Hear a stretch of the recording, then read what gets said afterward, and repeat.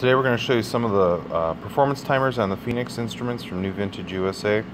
Uh, all the Phoenix speedometers have performance timers built right in. We have 0 to 60 time,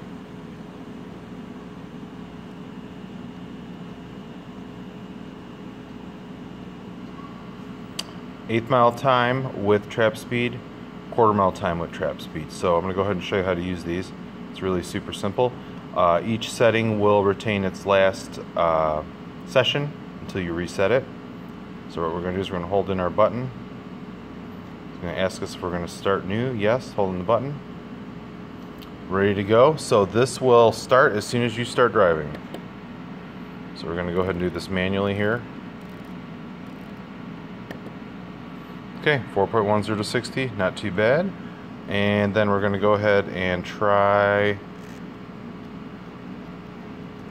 let's try 8th mile.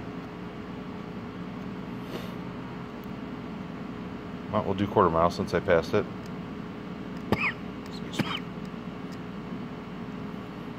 Start, yes.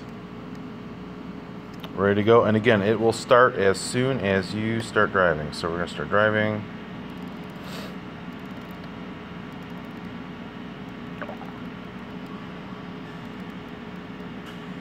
Just a few seconds. Okay, there we go.